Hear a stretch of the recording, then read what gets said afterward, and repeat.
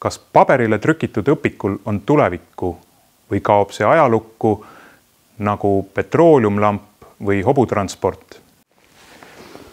kas ei lõhna see raamat hästi? selle lõhna ja lehekülje keeramise mõnu nimel keeldun ma vahetamast paberraamatuid e-raamatute vastu. ilmselt olete seda mõtet kuulnud ka varem. ja isegi kui inimesed lasevad endale uue tehnoloogia ligi, siis tihtilugu kasutatakse seda vanal ja vääral moel. näiteks on tänapäeval peaaegu pooltel Eesti elanikest taskus võimekas nutiseade, mida üldjuhul kasutatakse lihtsalt helistamiseks.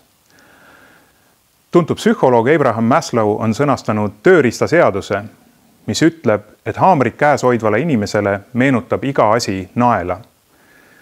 sellega viitas ta inimeste harjumusele üritada lahendada keerulisi ja mitmekülgseid probleeme lihtsustatud stamplahendustega.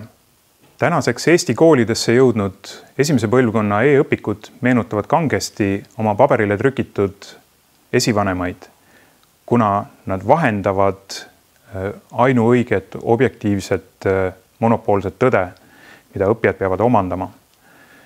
meie uurimisrühma poolt loodavad järgmise põlvkonna äh, digiõpikud on pigem konstruktorid, mille abil õppijad koos õpetajatega üheskoos kaasautoritena loovad uusi teadmisi. tõepoolest e, e-õpik ei lõhna ka tulevikus, aga ta pakub teistsuguseid õpielamusi